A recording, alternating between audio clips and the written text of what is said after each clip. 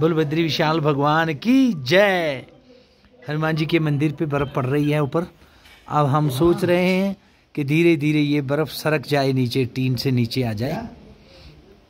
बहुत अच्छी बात है। आओ आओ नीचे। ज़्यादा देर बर्फ़ ऊपर, टीन पे हनुमान जी के मंदिर में नहीं रहनी चाहिए। जय बद्री विशाल। आओ। ज़्यादा देर बिल्कुल नहीं बर्फ़ चाहिए हमें। बद्रीनाथ जी के आशीर्वाद से हनुमान जी का मंदिर है और ये मंदिर पे बर्फ़ बिल्कुल नहीं रहनी चाहिए। हाँ।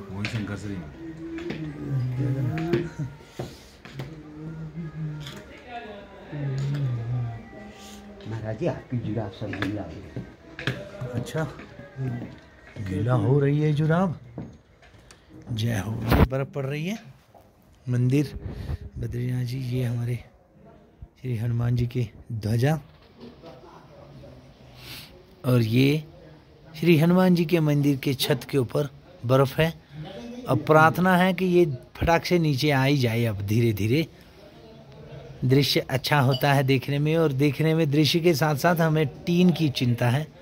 टीन पे ज़्यादा भार नहीं होना चाहिए, आने वाली है।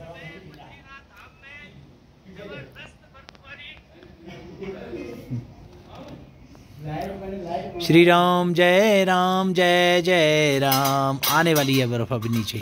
छत से गिरेगी अभी। आप सब लोग देख सकते हैं अभी। भगवान बद्रीनाथ जी के धाम में श्री हनुमान मंदिर आई। नीचे आने वाली है।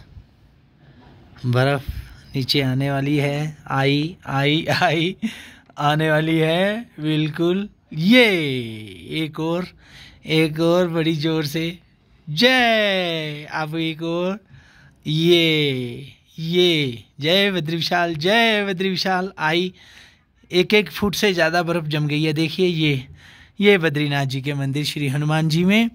छत पे ये बस एक और पीस रह गया। ये धीरे धीरे आ रहे हैं नीचे। ये बद्री विशाल, जय बद्री विशाल। जय। ये है बद्री विशाल जी में श्री हनुमान मंदिर जी, जो खाक चौक श्री हनुमान मंदिर का स्थान, श्री हनुमान जी का। टीन का जो स्ट्रक्चर है, ये यज्ञशाला के नुमा बना है, इसीलिए कि इसके ऊपर ज़्यादा देर बर्फ़ ठहर ना पाए, क्योंकि फिर बर्फ़ ठहरेगी तो फिर तकलीफ़ होती है। स्ट्रक्चर पे भार नहीं होना चाहिए टीन पे, बहुत ज़्यादा बर्फ़ होने से। और बर्फ़ बहुत ज़्यादा पड़ रही है। श्री हनुमान जी महाराज जी की